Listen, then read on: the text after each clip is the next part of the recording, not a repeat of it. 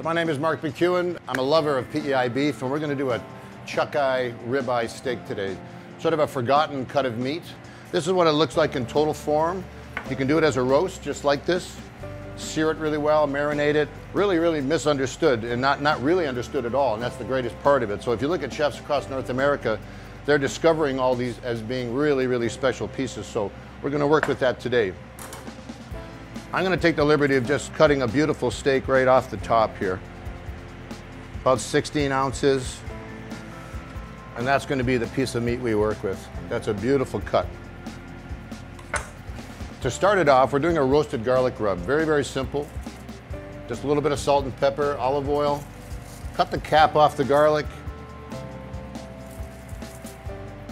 Just to drop a few herbs in. And what we're gonna do is just seal it up. Very simple. You don't have to do anything fancy around the edge, just nice, neat pleated folds. That goes in the oven for one hour. And what you land up with is a beautiful paste that looks just like this. In the meantime, we're gonna marinate this. Good olive oil. Good healthy amount of cracked pepper. Good amount of salt. I like, to, I like to salt it and let it sit for 20 minutes. I find it puts a nice little cure on it. Then here we have parsley, sage, and rosemary. I'm gonna put a generous amount of that on.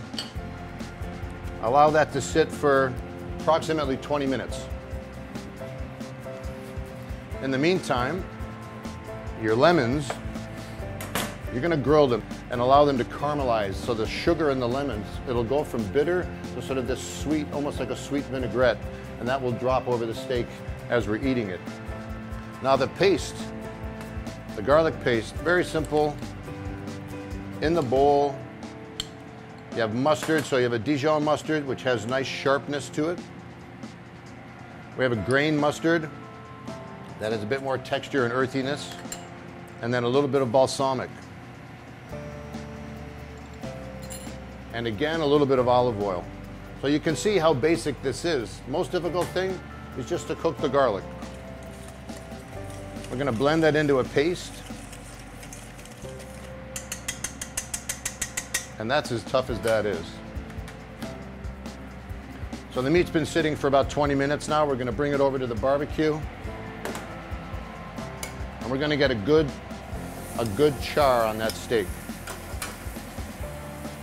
You're getting a lot of flame on it, because this does have a lot of integrated fat and there's a little bit of oil in the marinade, just sort of bounce it around. I'm not looking to have perfect grill marks on it. I want it to be crusted all around, and that's the important part. Gonna pop these lemons on. Just keep them off to the side. They don't need to be on direct heat. So now we're getting ready. We've got a good char all the way around on the meat. We're gonna start applying the garlic paste. Just a nice brushing everywhere. My preference is to have this steak cut fairly generous so that it stays on the barbecue a long time I have the opportunity to baste it a number of times and you get all those layered, beautiful flavors. That's when you have a fantastic piece of meat. See, this can be your secret recipe. You don't have to tell your neighbor what it is. They'll always wonder what it is. So the meat is just passing over rare. Uh, that's exactly where I like it. So I'm gonna take it off. We're gonna let it rest for about 15 good minutes so that the juices have a chance to cool down and settle down. Just gonna place it on a foil tray. Don't seal it, just cover it. Our lemons are nicely charred and we are ready to eat steak. This should be really good. This steak is rested about 15, 16 minutes. So this is a wide piece of meat. We're gonna take it straight down the middle and then we're gonna flip it on the cut side, okay? And we're just gonna cut down once. You have to be very gentle. You need a good sharp knife and that's our beef. Beautiful, beautiful. Nice char on the outside. You can see the way that it radiates through. It's been cooked very nicely. Mark, why don't you pop in here and we'll uh, sample a little bit of product. Stand back any longer. Let's just do a splash of lemon on the beef. And away we go.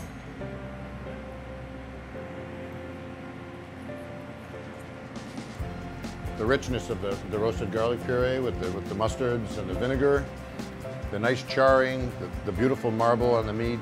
The quality of the meat is fantastic. Beautiful product. PEI beef. Gotta love it. I don't think you can beat it. I hope you've enjoyed our conversation on the chuck eye steak today. I am certainly having a great time eating it. Uh, enjoy the recipe. It's an easy one. Make sure you do it.